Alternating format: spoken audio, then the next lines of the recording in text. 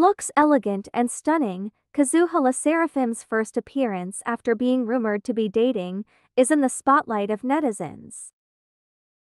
Recently, one of LE SSERAFIM's girl group members, namely Kazuha, has just been in the spotlight of netizens after she attended the Lancôme new teen idol ultra wear long-lasting foundation launch event at a cafe in Seoul. At the event, Kazuha herself was seen wearing a fitted black asymmetrical dress and mesh stockings, which showed off her beautiful shoulders and was accented with gold-edged buttons on the left side of her body. Seeing Kazuha's appearance, fans immediately praised her beauty and highlighted Kazuha's relaxed and cheerful expression despite previously being hit by dating rumors.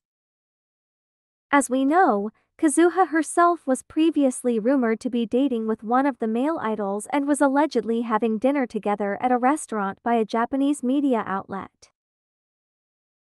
However, seeing Kazuha's elegant and stunning appearance while attending the event, netizens also started to give their reactions and comments such as, So happy to see her smile, elegant and graceful as always. Finally my girl is back, stay charming, let them know they are not bothering you.